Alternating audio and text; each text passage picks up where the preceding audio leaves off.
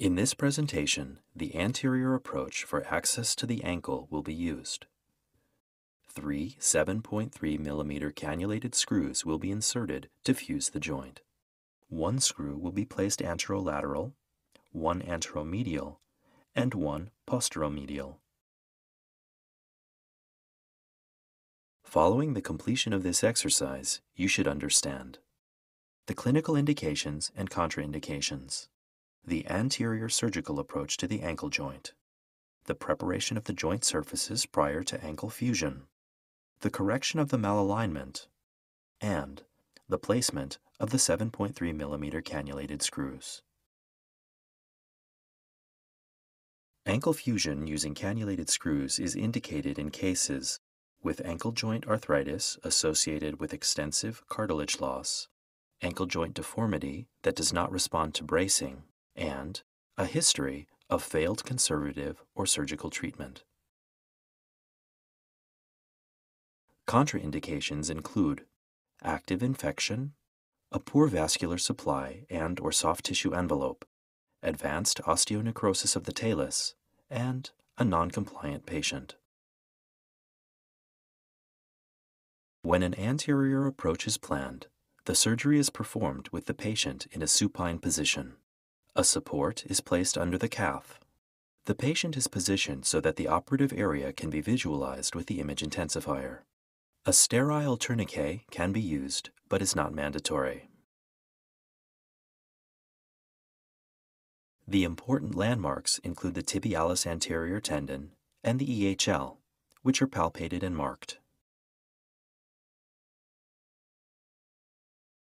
The incision will be made at least 4 to 5 centimeters proximal and at least 2 to 3 centimeters distal to the ankle mortise in the plane between these landmarks. The skin is incised.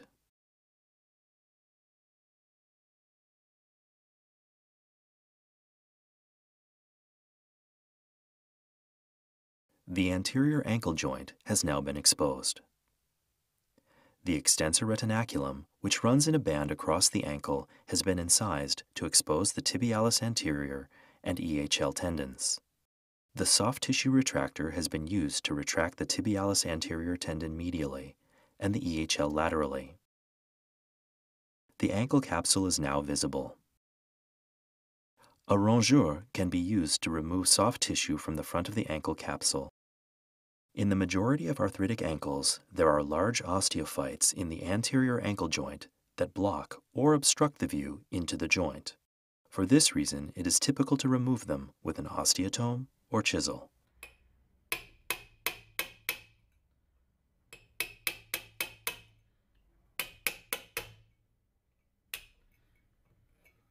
Once the anterior ankle mortise is exposed, any additional soft tissue adhesions can be freed giving mobility to the ankle.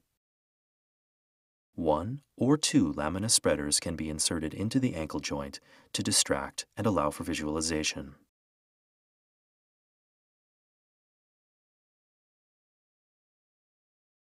A bone curette is now used to remove any remaining cartilage from the ankle joint, taking special care to clear the posterior aspect by working from posterior to anterior on both the talar and tibial surfaces. Once this is completed, the gutters can also be prepared, as well as the surface of the fibula and the lateral surface of the talus. The lamina spreader is repositioned from medial to lateral, which allows the medial gutter to be prepared.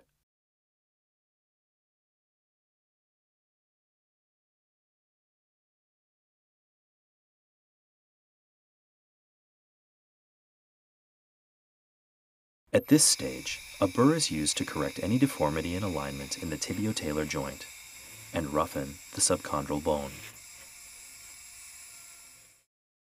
The lamina spreader is repositioned during the joint preparation to allow adequate exposure to both sides of the joint for the burr.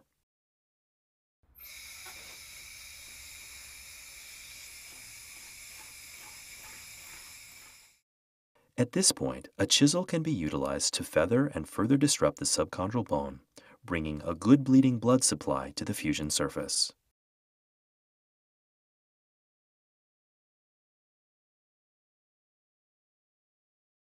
The foot is positioned in neutral to slight dorsiflexion with 0 to 10 degrees of external rotation and neutral to 4 degrees of valgus. Once the foot is set in the appropriate position, three 7.3 mm cannulated screws will be placed. First, the guide wire for the anterolateral screw is inserted. The anteromedial guide wire is then inserted.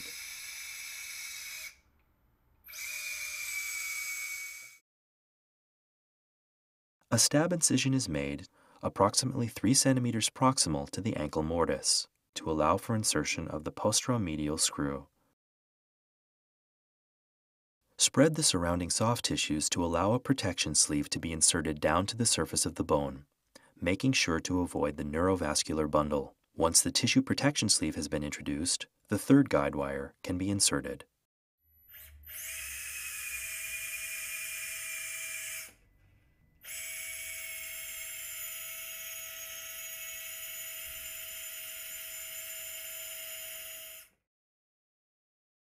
The drill sleeve is removed.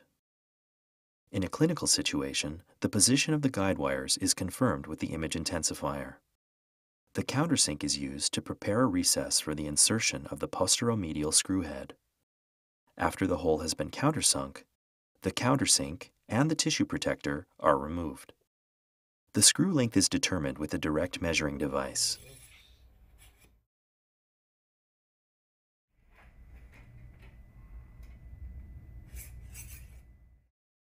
The anteromedial and anterolateral screw insertion sites are also countersunk. The appropriate length of the two anterior screws is determined.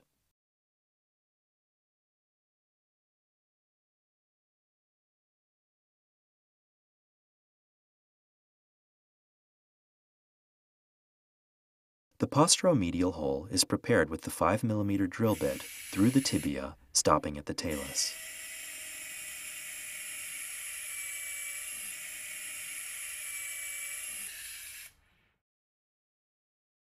The 7.3 mm cannulated screw is inserted with the cannulated screwdriver.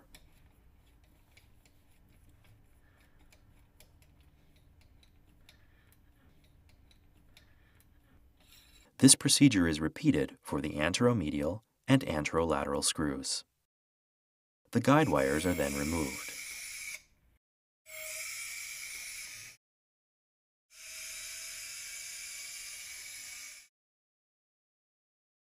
The X-rays show the final position of the screws. It can be seen that the ankle joint is solidly fused and that there is subtalar motion. On the bone model, the foam has been removed to show the final position of the screws from multiple views.